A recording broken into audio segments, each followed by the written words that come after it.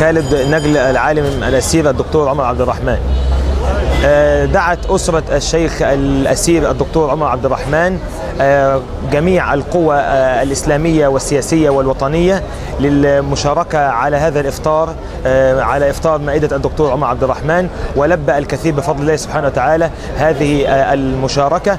وهذا يدل على أن كل الشعب المصري بكل أطيافه وكل توجهاته ينادي بسرعة الإفراج عن هذا العالم الأسير المصري الدكتور عمر عبد الرحمن. لأن الشيخ عمر عبد الرحمن هو أول من ثار عن نظام حسني مبارك فكيف ينعم الشعب المصري بهذه الثورة؟ المجيدة والشيخ عمر عبد الرحمن هو ال الذي ثار على نظام مبارك يقبع خلف القضبان فهذا الإفطار ينم عن إن كل الشعب المصري ينادي بسرعة الإفراج ويناشد المجلس العسكري بالإفراج عن هذا العالم المصري الدكتور عبد الرحمن.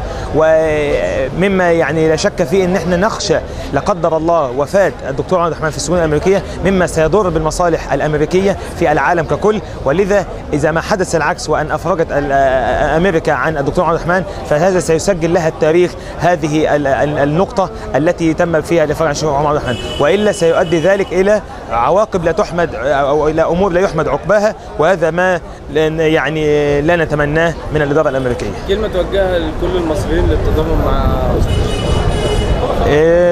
يعني نناشد الشعب المصري بكل أطيافه وكل توجهاته أن ينضم إلينا في هذا الاعتصام السلمي المفتوح حتى يتم الإفراج عن الشيخ عبد الرحمن لأن الشيخ عبد الرحمن هو أول من فضح نظام حسني مبارك وهو أول من ثار على الظلم وهو أول من وقف ضد نظام حسني مبارك هذا النظام المستبد.